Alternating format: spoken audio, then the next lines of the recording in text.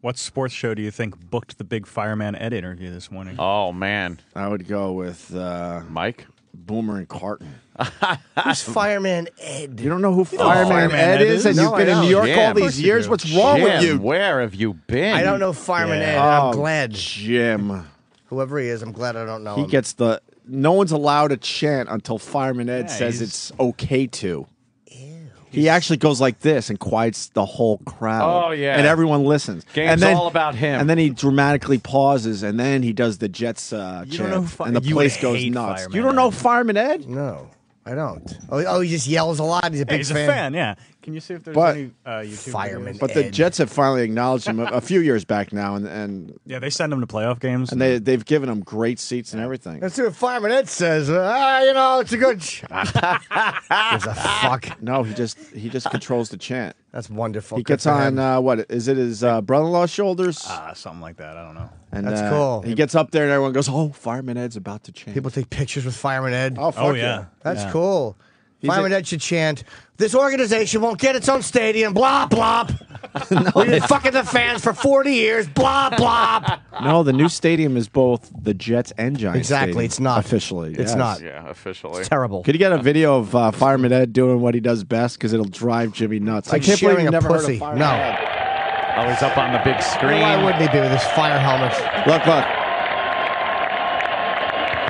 He's calming everyone down. Hey, you're not a dictator.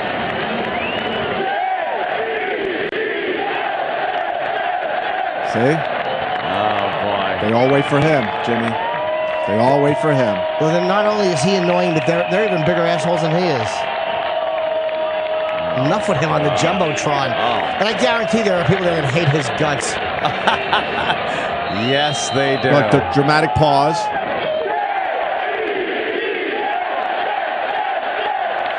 These dumb motherfuckers don't know when to start the J in Jets. You know what, yeah, though? they need a little direction. Yeah. It's pretty impressive because one day he just started that, and and it's gotten to the point where the whole stadium looks at him. Who's a bigger cunt, him or the cowbell man? Uh, the cowbell man at, uh, at, at Citi Field, Chase. I hate cowbell I man. hate fucking cowbell. Is he with the Mets? Oh, yeah. Of course. I don't The Mets and mind. the Jets. I don't mind Fireman uh, Fireman Ed at all. Actually, He's a fan. and the guy from Yankee Stadium was Freddie fucking, says? Freddie says stunk. Freddie A says. three-way head-on collision on the fucking West Side Highway.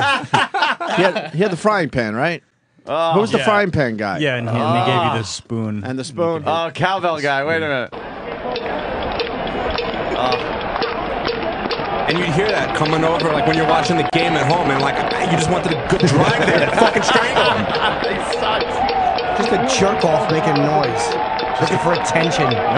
Just a guy who decides one day that he Stop wants it. I know, like, dude, he's, he's doing it for 20 seconds. Just shut the fuck up. Stop it! I hate these fucking fans. You don't like the Uber fans? Hate. No, I said I hate them for being fans, but for make for Fireman Ed annoys me the least because he's just doing a chant that other people are, are chiming in with. He's not making so much noise himself, mm. like these other two douchebags that fucking Wait. cowbell and fucking frying pan, fucking Teddy and fucking assholes. Bells McGillicuddy, Fucking Teddy. Bells McGill, jingle jingle jingle jingle jingle jingle. Look, he's Bells got- McGillicuddy. Yeah, he's got he's got jester shoes on. Jingle jingle walk jingle. Ted- fuck yourself. Ted should be a, um, a a super fan.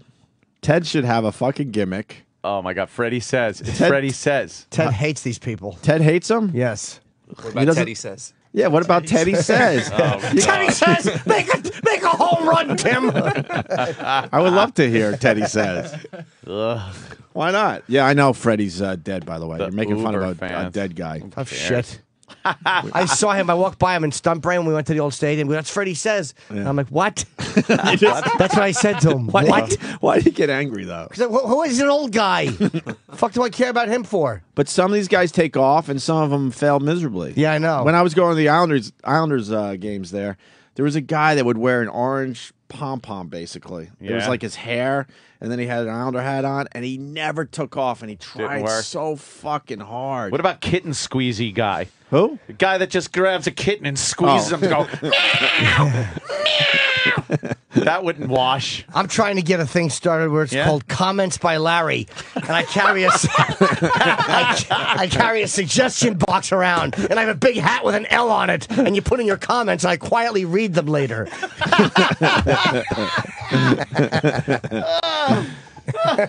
Oh shit. Not too shabbily. You know who my favorite fan person is? Did you ever see the old lady? She goes to Buccaneers games, Bullhorn Edna, and she just holds the bullhorn, but she never uses it. She just waves it.